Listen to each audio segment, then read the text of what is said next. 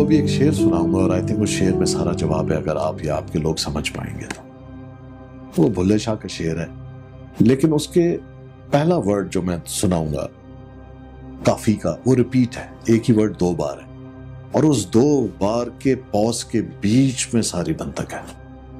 और मैं सो अगर आप इजाज़त जी जी प्लीज़ तेन काफर काफर आख दे। बोलिया आहो आहो आख। कि तुम्हें काफिर काफिर कह रहे काफिर कह रहे हैं। हाँ कह दो। क्रिटिसिज्म मुझे एक बात बताएँ क्यों मैटर करता है?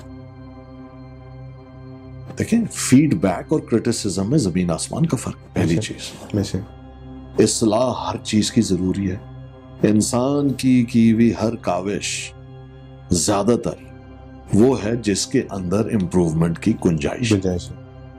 क्योंकि आपका हर काम मरून मिन्नत होता है आपके तजर्बा आपकी उम्र आपका मुताला मुशाहिदा और जाविया।